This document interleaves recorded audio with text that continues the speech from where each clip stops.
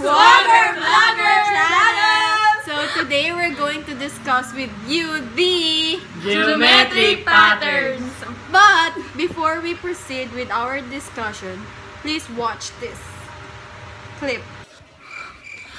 So, ngayon na ako, nandito ho kami sa bahay nila Jasmine. Ano ba yun? Napakadilim ho dito, gagawin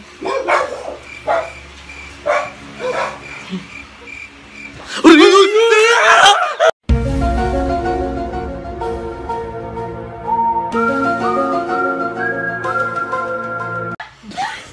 up guys? So nandito kami ngayon sa bahay nila Jasmine para turuan kayo ng pinakaayaw na subject ng mga karamihan, ang MMW.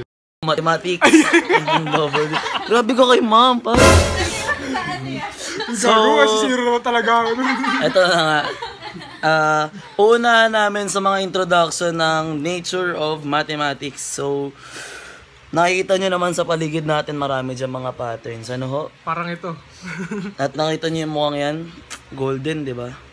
May mga ibig sabihin yung mga yan. Kaya simulan natin sa introduction. What's up guys? So nandito kami ngayon sa bahay nila Jasmine dahil sinabi ni Jasmine Ong na meron daw kababalaghan sa bahay nila. Multo? Oo par. Anong multo? Ayan ang malalaman natin at aalamin natin kung anong klaseng mga kababalaghan ang meron sa bahay nila Jas. Kaya halika na, sama ka. Bahay nila Jas. Just, parang ba't ang dilim dito? Wala pang ilaw ba? Wala pang ilaw dito? problema, bubuksan natin. Wow! Ngayon bukas na ang ilaw, itutour na namin kayo sa bahay namin. Tara. So, andito na nga ho kami sa bahay nila Jas at binuksan na yung ilaw nila. Napakaganda. Yes, my home. Pero may napapansin na kami sa bahay nila eh. Parang kakaiba eh, no? Ang daming mga kung ano-ano. Asa ka na ba, Just? Asan ka na? Sumunod ka kasi. Tignan mo, tignan mo to. Tignan nyo to ah. Parang may mga Parang pang bulutong. mga inchik-inchik siguro dito. Parang bulutong. Hilig nila sa mga pattern-pattern. Hmm. Anong pattern kaya yan? Ayan, di ba? May tawag dyan, di ba? Alam. May tawag dyan. Ay, Magandang gabi po. Magandang gabi po. Dumating yung nanay at saka tatay nila, Jess. Nakakahiya. so, nandito nga interview namin. Aring mga guests namin ay ano, galing pang United States. Ayun nga sila katabi mo, Gia. Ay, ano palang guest namin, napaka-startup! eh, di, na, di nalaang ako aalis din eh, dito nalaang ako. Ano nga ba yung nakita namin sa bahay nila, Jazz? Sa bahay kasi nila just madaming patterns. Ang tawag doon symmetric patterns. Rosette patterns, a motif is rotated and or reflected. And these are examples. The second one is frieze patterns, a geometric design in a long strip in which an element is repeated over and over. And these are the examples. Lastly is the wallpaper patterns, It covers the plane and can be mapped onto itself by translation in more than one direction. And these are the examples. Papakilala natin ang ating pangalawang guest sa ating pagbabalik. So right now guys, I'm going to show you an example of isometry under translation.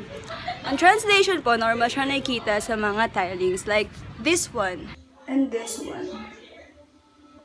So the next thing that I'm going to show you guys is an example of a reflection. Ito yon. So ayun, may nakita ko ditong example of isometric rotation.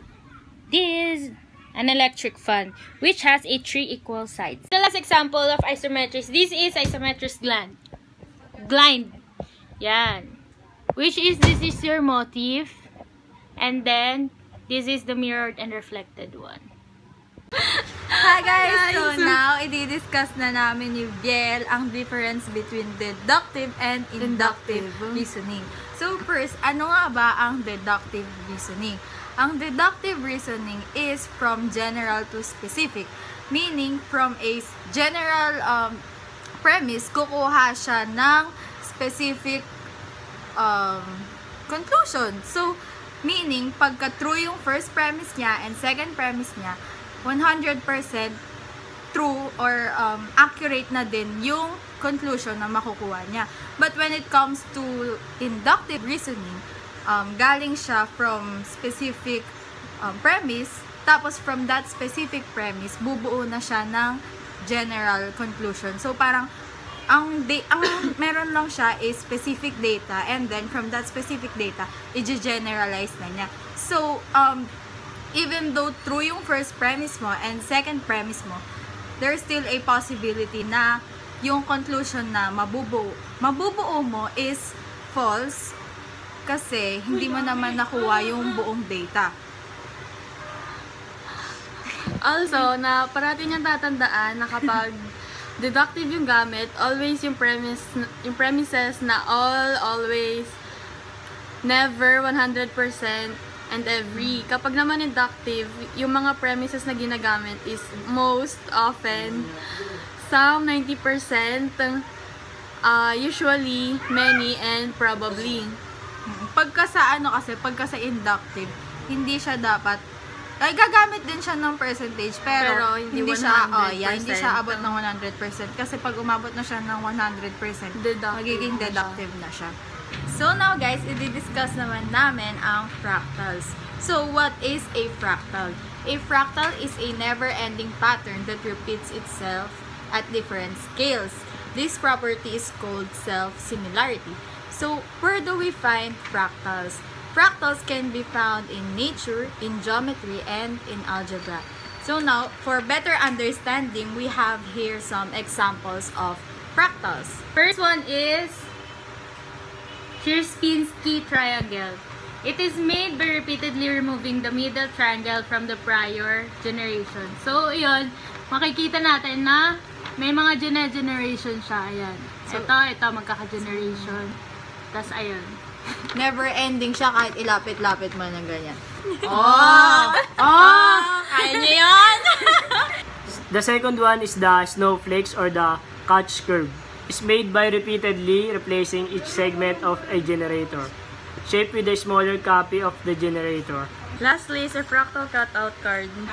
Cut out a three-dimensional fractal by repeating a simple process of cutting and folding and turn it into a pop-up card.